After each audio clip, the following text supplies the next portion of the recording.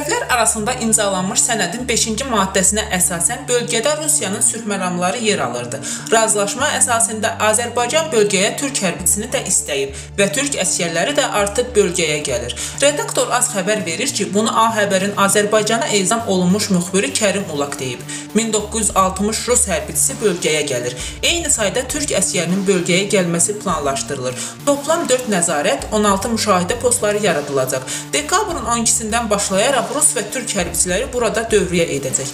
Bölgədə bir dənə də olsun erməni hərbçisi olmayacaq. Bölgədə özəlliklə ermənilərin sıx yaşadığı yerdə təhlükəsizlik və asayişi türk və rus hərbçiləri təmin edəcək. O vurğulayıb.